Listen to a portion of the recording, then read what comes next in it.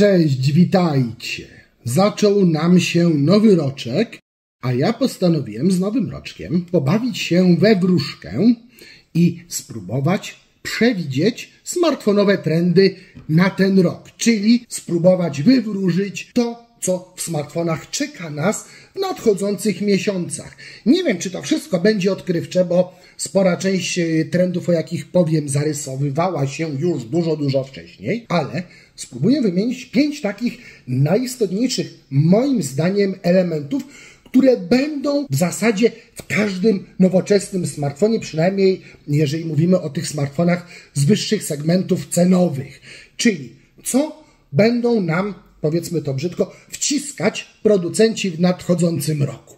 Zapraszam. Mam już moją szklaną magiczną kulę i kula mówi mi, że pierwszym z takich mocniej, intensywniej zarysowujących się trendów w nadchodzącym roku będą własne, dedykowane chipy. To już oczywiście mieliśmy, powiecie. No tak, Huawei robił sobie Kiriny, Samsung cały czas lansuje Exynosy, ale ja mówię o takich dodatkowych układach autorskich, jak na przykład swego czasu zaczęło produkować Oppo układy Mari Silicon najpierw do aparatu, później do dźwięku. Tego wydaje mi się będzie więcej i więcej producentów pójdzie właśnie w tym kierunku. Kulo, powiedz mi, co będzie jeszcze.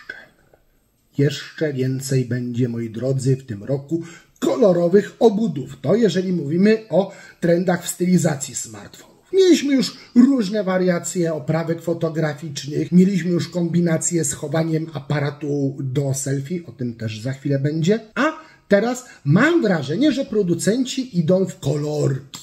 Mieliśmy już w minionym roku pierwsze takie przykłady. Zobaczcie na przykład w ilu kolorach pokazały się flagowe modele Xiaomi 13. Aż miło popatrzeć. Teraz z końcówką roku i początkiem nowego nadeszły kolejne wieści o planowanych smartfonach Samsunga. Również będą kolorowe i nie mówimy tu wyłącznie o flagowcach, mówimy tu o smartfonach również ze średniego segmentu cenowego. Cóż jeszcze zobaczyłem w kuli? Następny trend. No zgadliście.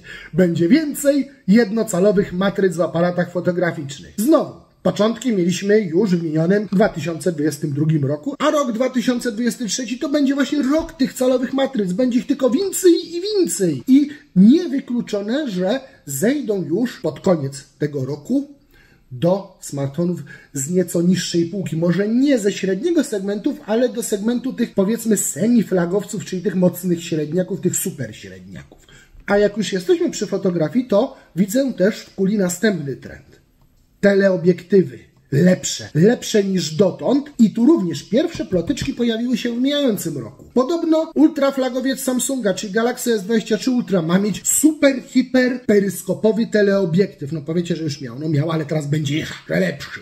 To samo pewnie pojawi się we flagowcu Vivo. Możliwe, że i Oppo się na to zdecyduje, bowiem przypomnę, Oppo już dawno pokazywało nam bardzo fajny peryskopowy teleobiektyw w dodatku ze zmienną ogniskową. Może wreszcie wpakują to do jakiegoś komercyjnie oferowanego smartfona. No i z tego jakby wynika już kolejna rzecz, którą również widzę w mojej kuli podekranowe aparaty. Może wreszcie, może wreszcie ktoś się na to zdecyduje i zrobi to porządnie. Takie próby oczywiście ma już za sobą Samsung w Galaxy Z Foldach, gdzie ten aparat ani nie jest jakoś specjalnie niewidoczny, ani nie robi za rewelacyjnych zdjęć.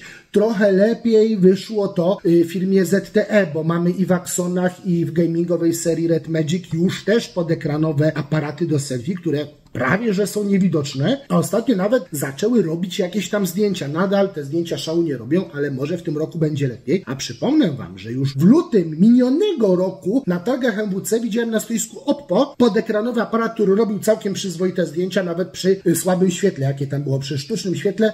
No, zdjęcie dawało się oglądać, przynajmniej na ekranie smartfona, po rozciągnięciu paluszkami nawet jeszcze to jakoś wyglądało. No i znów powtórzę, może wreszcie Oppo wpakuje to do smartfonu, który trafi do sprzedaży i będziemy go mogli kupić i cieszyć się wreszcie pod ekranowym aparatem do selfie z prawdziwego zdarzenia i mam nadzieję, że to również w tym roku wreszcie zobaczymy. Gładzę kulę, by zobaczyć ostatni z pięciu trendów, które chciałem w tym roku wymienić. Jak myślicie, co mam na myśli? No tak, moi drodzy.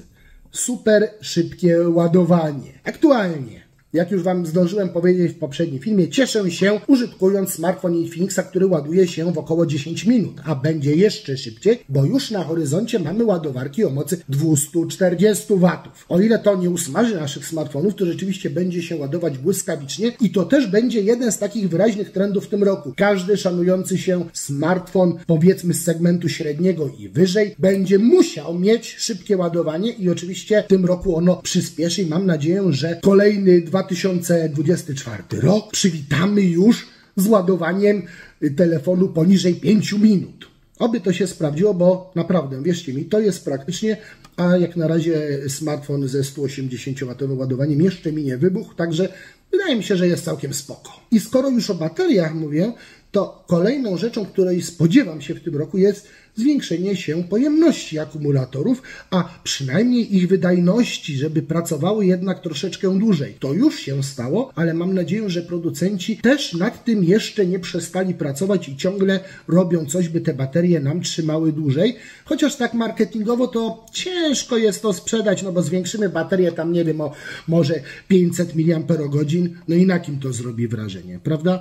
No na nikim, na przeciętnym konsumencie niekoniecznie, no ale też tu spodziewam się pewnych progresów, pewnych prac nad ulepszeniem tych telefonów. No i na koniec rzecz której nie przewiduję na 2023 rok, ani przewiduję, moi kochani, jakiejś wielkiej rewolucji w składanych smartfonach. Myślę, że w tym roku po prostu więcej producentów zaoferuje nam swoje smartfony z elastycznymi składanymi wyświetlaczami i w zasadzie tyle, a wszystkie one będą jednakowe, podobne do siebie, tak jak było w minionym roku, gdzie mm, w sumie takiej wielkiej rewolucji na polu składaków nie było. Mieliśmy albo klapki, albo klasyczne książeczki i w zasadzie każdy z tych telefonów był podobny jeden do drugiego i w sumie nic wielkiego się nie wydarzyło. Owszem, są fajne, ja na przykład bardzo je lubię, ale jakiejś rewelacji, jakiejś totalnej zmiany nie było i myślę, że w przyszłym roku również nie będzie. Zobaczymy po prostu nowe, ulepszone warianty z nowszymi prockami, może z większymi pamięciami, może z nieco lepszymi parametrami wyświetlaczy i myślę, że to będzie na tyle. A co Wy przewidujecie na nadchodzący rok, który się właśnie zaczął? Opowiedzcie w komentarzach. Może macie jakieś ciekawe przewidywania. A ja już dziękuję Wam za oglądanie i widzimy się niebawem w kolejnych filmach.